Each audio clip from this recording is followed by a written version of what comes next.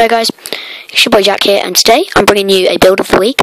These builds of the week are not going to be like the best builds that I've ever done and stuff. There's going to be like cool builds that I've built in this world, and um, this is the first one, so I'm hoping the audio is pretty good for my like I'm talking through my mic into my tablet, uh, so it'll be pretty cool. Like you can hear me a lot better, so you have to turn your volume right up. But there's no game audio. I need to sort that out.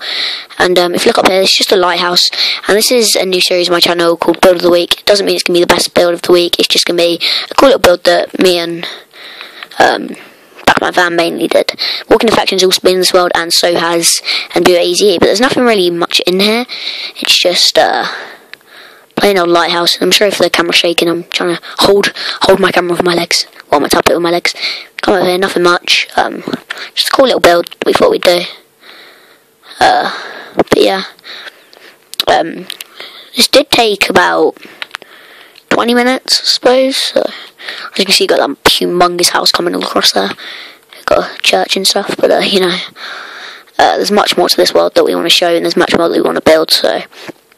Um, if you guys enjoyed this video, uh, be sure to leave a like. If you're new to the channel, subscribe.